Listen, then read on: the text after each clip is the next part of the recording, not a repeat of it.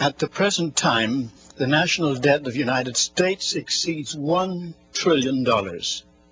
That's the amount that the government owes the people. One million times a million.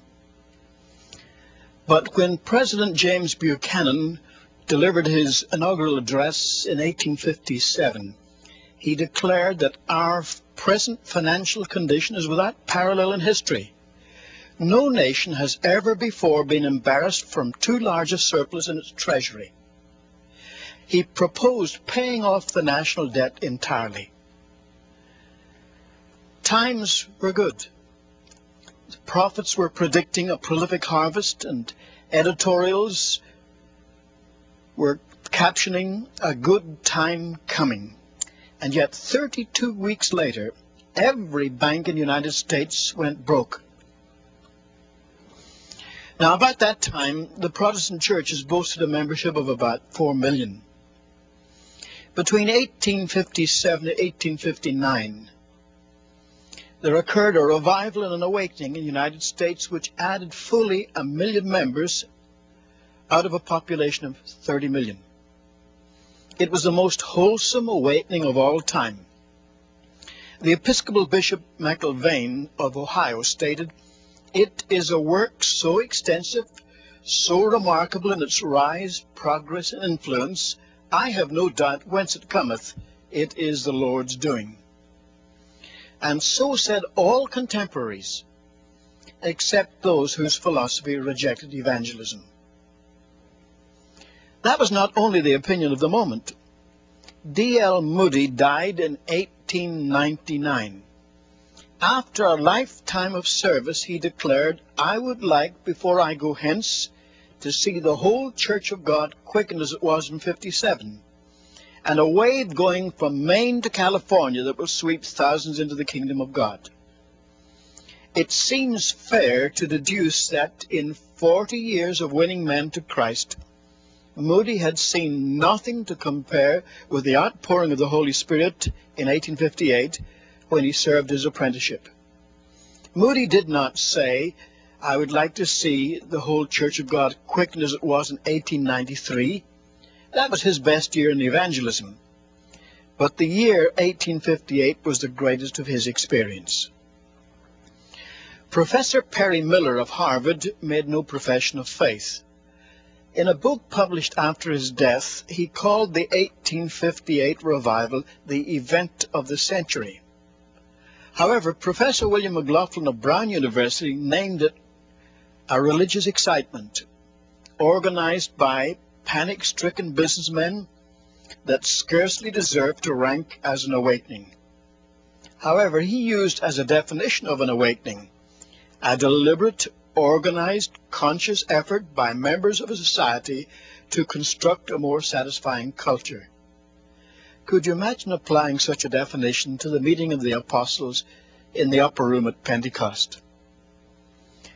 Evangelicals also call it a businessman's revival but they attribute it to a prayer meeting started at the time of the bank panic by a lame man called Jeremiah Lanphier.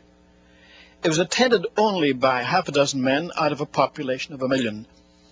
And then it overflowed into thousands of prayer meetings, followed by a great revival.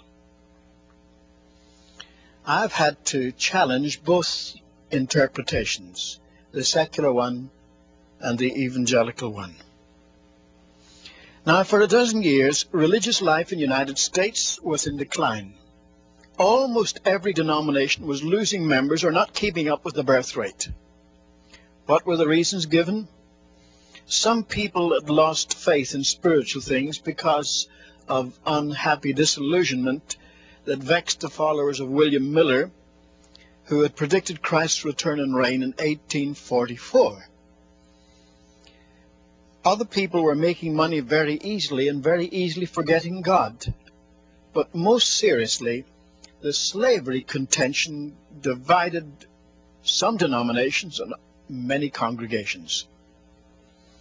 Some time before the revival, the Reverend William Arthur, a British Methodist, preached a series of powerful messages in Ohio, and soon afterwards published them as the Tongue of Fire.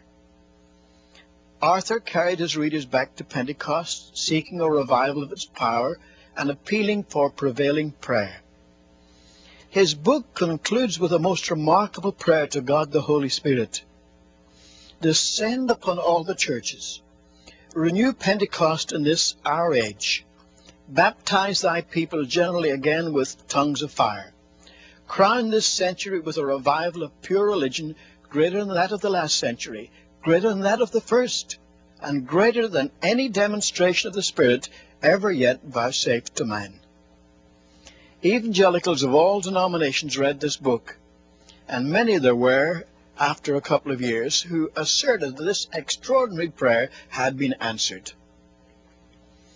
Now, until today, there's been general agreement that the 1857-58 revival began in the United States in early 1858, although it was preceded by a movement of prayer of the humblest origins.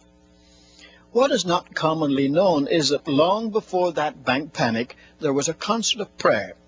The Baptists, Methodists, Presbyterians, Lutherans, Episcopalians, and others participating. Fulton Street was only one of thousands of gatherings praying for an outpouring of the Holy Spirit upon the churches of the United States and Canada. Denominations were officially committed to prayer for revival and already engaged in it. Take an example. The Presbyterian General Assembly quoted one presbytery after another. We would, upon our bended knees, offer the prayer of Habakkuk, O Lord, revive thy work. And then they summed it up by saying, next to a state of actual revival is the sense of its need and the struggle to attain it at any sacrifice of treasure, toil, or time. We trust that it's not distant when this state of general revival shall be ours. We mentioned the theory that we owe this revival to the bank panic, but Canada was utterly untouched by the bank panic. The people there were praying for revival. Revivals began in the Atlantic provinces and in Ontario. About a week before that bank panic, an extraordinary revival broke out in Hamilton, Ontario. Walter and Phoebe Palmer, well-known Methodists, who had been up speaking in summer camp meetings, lost their baggage and stayed over in Hamilton unexpectedly. The ministers arranged special meetings for them on very short notice. Very few attended the first meeting. But there arose such an awakening that the mayor of the town, business leaders, and common people repented. And this revival in Canada continued through 1858, 59, and 60. Now, the south of the United States, producing cotton, was very little affected by the bank panic.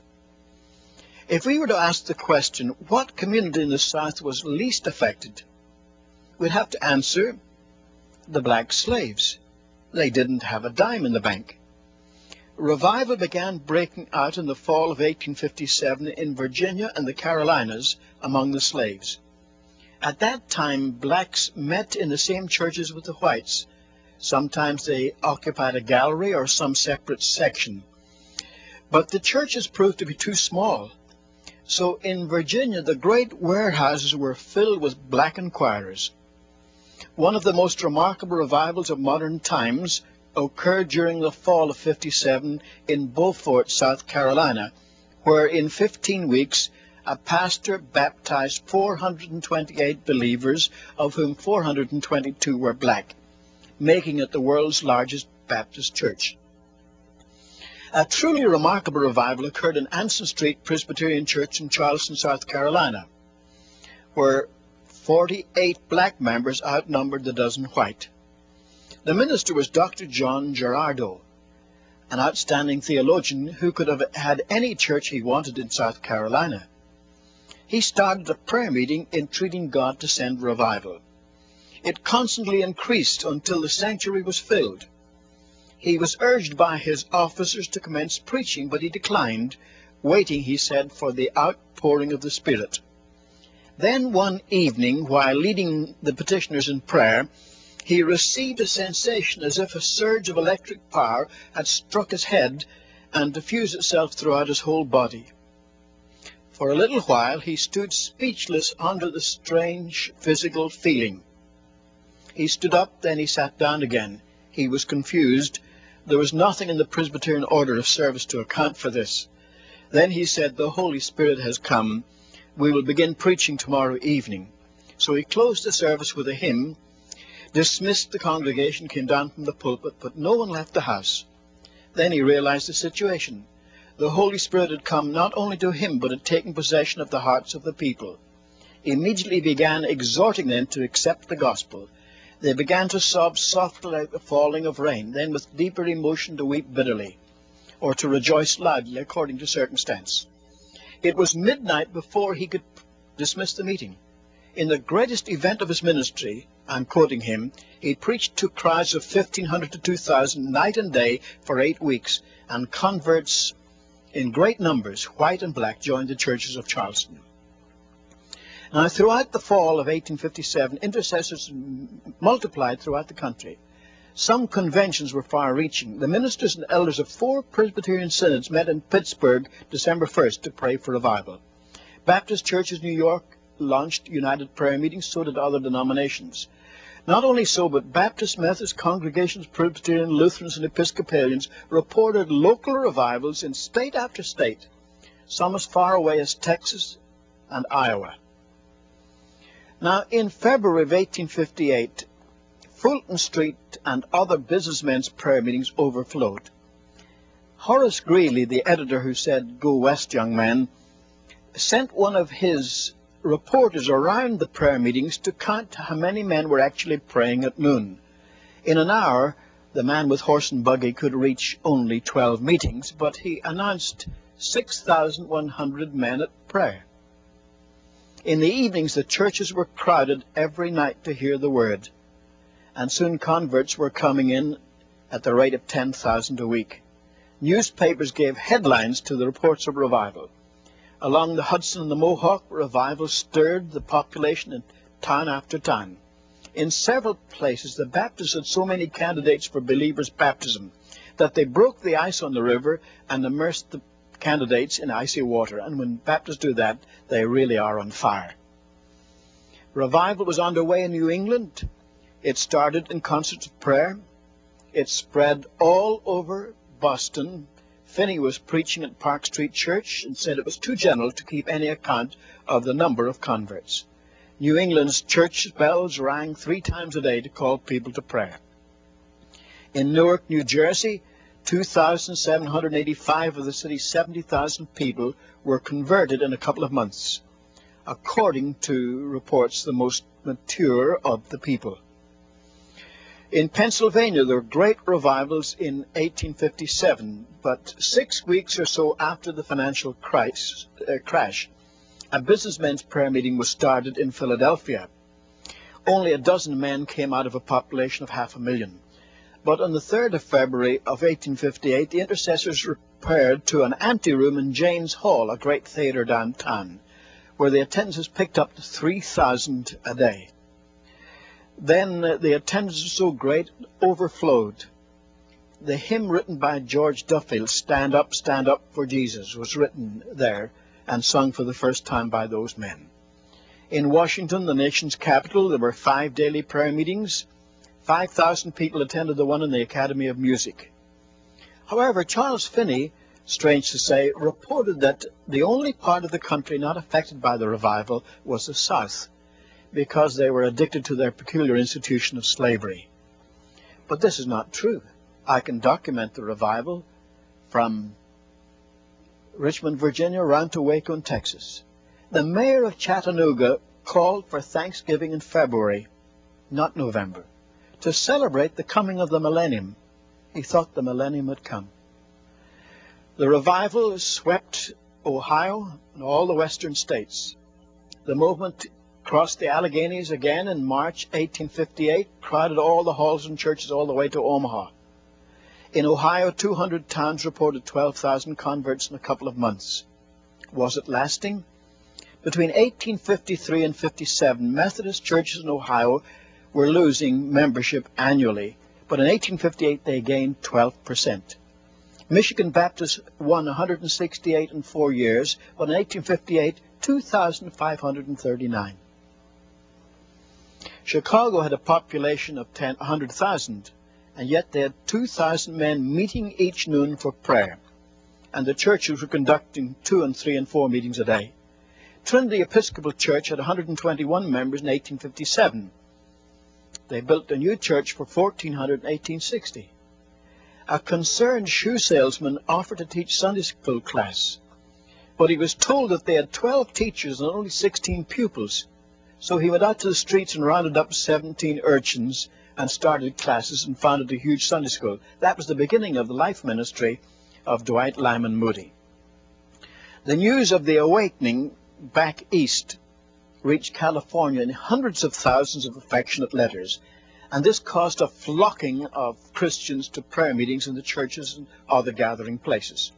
The California Times reported extraordinary interest in religion and two months later, daily prayer meetings in San Francisco were continuing with unabated zeal. The results were rather disappointing in the southern part of California, where there was very little Anglo population. Before the close of 1857, there was a remarkable awakening among seamen in New York and all the other ports. The Seaman's Friend recorded an outpouring of the Spirit in almost every seaman's Bethel around the coasts. There was an extraordinary revival of religion in the United States Navy, and dozens of Army volunteer regiments marched to church services. Firemen in the bigger cities were somewhat of a problem because they often would battle each other and fight uh, the police and civilians as well as dousing flames. They made a great effort to reach firemen in all the great cities, and many, many were converted in American colleges in New England, the Middle Atlantic states, and the South and the West, with scarcely an exception, there was a great student awakening. The work at Yale found a, uh, no parallel in the whole history of that institution. In the, most places, the majority of students professed conversion, and there was a vast increase of candidates for the ministry reported by the seminaries. Now, this 1858 revival was received by great enthusiasm by the secular press. They testified to great changes for good in every place. With few exceptions, the 1857-58 awakening was supported by every Protestant denomination, including the Lutherans and the Episcopalians, although a minority in each objected. These meetings were commended for their quietness and restraint, and they gained goodwill of citizens in every place. Looking back, none of the objections raised about extravagances in previous movements were even mentioned in connection with the 1857-58 revival. Looking forward, there were manifested no signs and wonders, except extraordinary conversions, no gifts of tongues or healing, but many, many calls to service. Besides a million church members reinvigorated in the movement, a million converts were added to the membership of major Protestant denominations. The total number of church members was 4 million, and in two years it became 5 million. Until now, only estimates of the total ingathering have been published. I've examined the statistics of 80% of the Protestant churches and have reached the incomplete figure of 1,001,379 added to the churches in two years. Beyond all else, it was a layman's movement in which laymen of every sort of church affiliation gladly undertook both normal and exceptional responsibility. Now, despite the outbreak of the bloodiest, most homicidal war in the world between Napoleon's time and World War I, the American Civil War, the awakening continued effective in the armies of both North and South. In the civilian population of the North, after a national repentance in 1863, it revived the churches in distressing days and solaced many anguished people. In the South, civilian fervor, strong at first, waned by 1864. But in the wartime 60s, fervent and united prayer continued, with significant seasons of refreshing reported, especially in the theaters of war. 150,000 Confederate soldiers were converted in the Army of Northern Virginia. But I can document revivals also in the Union Army.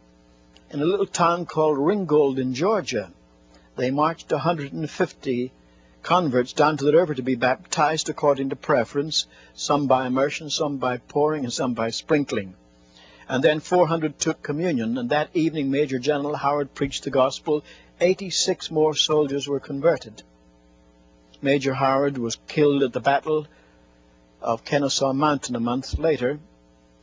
But that revival was in Ringgold, Georgia, in the army of General Sherman invading Georgia.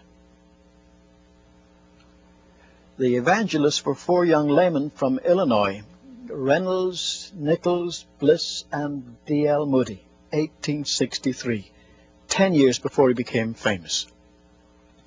Not only was there a great effect upon the Negro population, both north and south, churches gaining so much in strength and numbers, but there were gracious outpourings of the Spirit in West Indian communities before the end of 1858.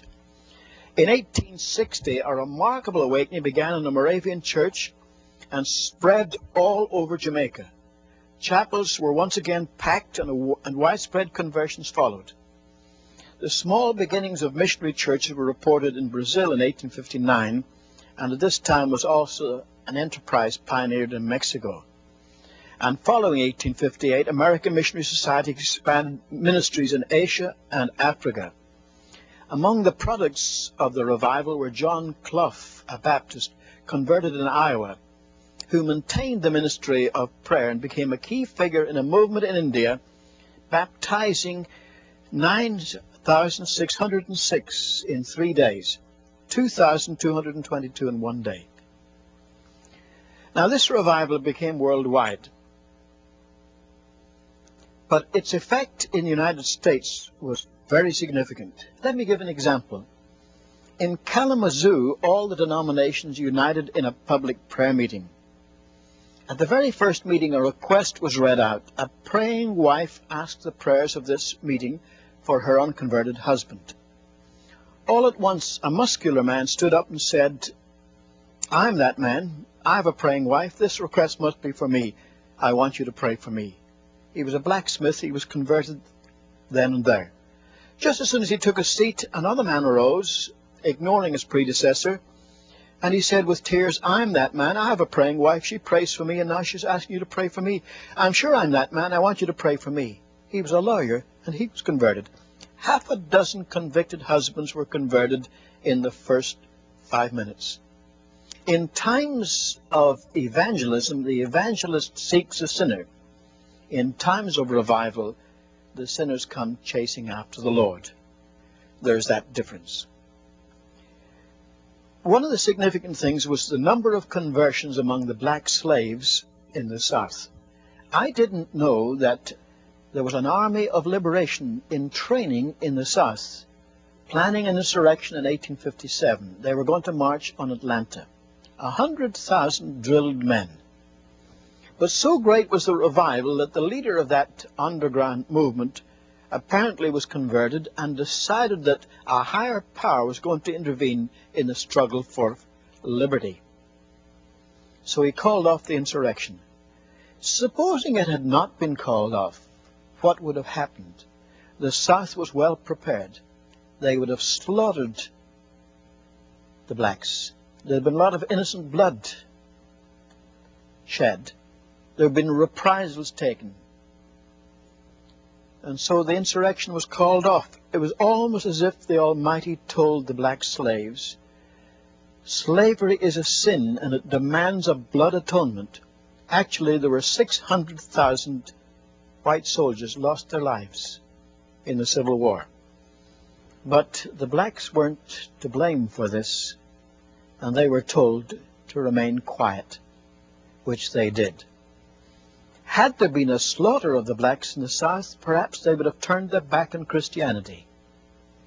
And you'd have seen a situation somewhat like Haiti, where they have voodoo, or Brazil, where they have candomblé and macumba and the other African cults.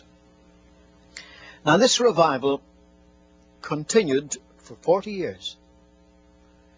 It didn't continue as an exciting revival for 40 years. But D.L. Moody, for example, extended the revival by his ministry for 40 years.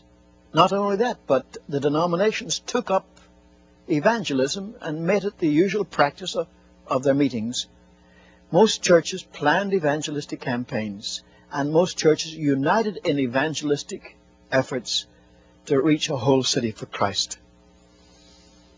It not only recruited candidates for the ministry. For instance, Union Theological Seminary had the largest class in its history. The same was true of other theological seminaries, but it recruited quite a number of missionaries for the foreign field. And following this revival, following the Civil War, there was a great expansion of missionary endeavor throughout the whole world. The revival continued in Canada also for a matter of three or four years and continued on in the following decades. You could say that the Moody years, Moody began ministering in 1858 and continued till 1899, 41 years, represent the extent of that revival. But that's another subject we can talk about somewhat later.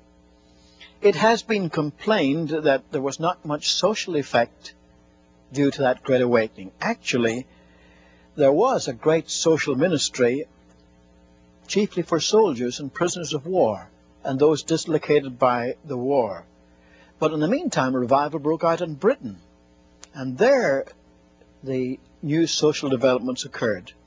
Home missions in the Salvation Army were extended in the evangelistic social outreach of the awakening worldwide. And then, after the war was over, these new developments were brought across the Atlantic to take root in the United States. Every great awakening has its social impact. Sometimes it takes some years before it's truly felt. But books have been written on the social impact of the 1859 revival in Britain, and nearly all of those social developments were paralleled by similar developments in the United States. It's interesting also that out of that British revival came the rise of the China Inland Mission through Hudson Taylor, who was busy working in the revival in London. That was the first of the interdenominational faith missions. Now, how are we to account for this great awakening of 1858? I think it can be summed up in one way, and that is, it was preceded by prayer. The bank panic had some influence on people, but it was not the cause of the revival. The revival movement, especially in its prayer concerts, had started before the bank panic and continued all the way through until it ran its course. And then it produced one of the greatest awakenings of all time. The denominations were one in brotherly love. Everyone commented upon the extraordinary fraternity, fraternal good feeling at that time. It was one of the most cooperative periods of Christian history when the denominations worked together as one man. What lessons can we learn from it? Although things have changed and many other features of Christian work have arisen, I think we could say this was the most wholesome revival in American history, and we ought to pray that the same sort of thing may happen again. God grant it.